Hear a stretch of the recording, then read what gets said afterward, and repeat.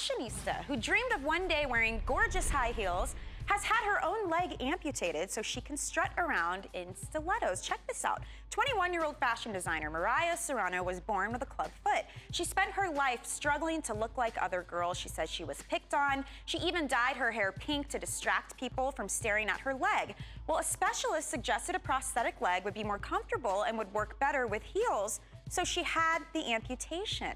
So now it has totally opened up the conversation. She even has a blog, you guys. It's called Confessions of a One-Legged Fashionista, where she details pulling off stylish looks with a prosthetic leg. What do you think about this?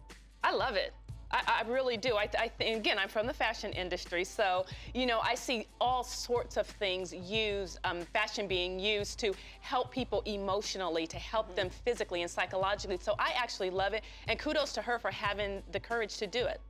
Yeah, and I, I, mean, it looks like she can actually move around a little bit better this way. I mean, it may have actually improved her quality of life, not just from a fashion perspective, but just from a movement perspective. Yeah. I don't know that for sure, but to me, it looks like she's able to move better. I love the turnaround here. She went from trying to hide it to now focusing solely on that and why it's such a great thing. Yeah, and Michelle, example. Yeah, that's what we do. We turn tragedy into triumph. We that's reframe. Right. That's what we do on Emotional Mojo, Michelle. Absolutely.